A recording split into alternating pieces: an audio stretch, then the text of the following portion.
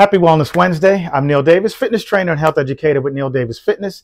This Wellness Wednesday, my focus is on cervical cancer. January is Cervical Cancer Awareness Month. I just wanted to provide you with some valuable information. Now, ladies, while this um, video is designed specifically for you, men, make sure that the ladies in your life get this information as well. The first thing is at the age of 21, you want to start getting uh, screened for a pap smear with a pap smear every three years for cervical cancer. So that starts at the age of 21. Once you get to the age of 30, and that happen, this happens until the age of 65, you continue with the screening for the pap smear every three years, and then every five years, you want to be screened for HPV virus. That has been linked to cervical cancer. So you want to get screened for that.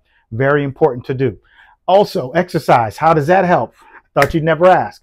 It helps you maintain a healthy weight. Cancer has been um, linked to obesity and being overweight. 13 different types of cancer have been linked to being obese and overweight. So you want to make sure you're doing that. The next thing that you want to make sure that you're doing is um, with exercise and why you want to exercise 150 minutes of moderate to intense activity. Let me remind you of that.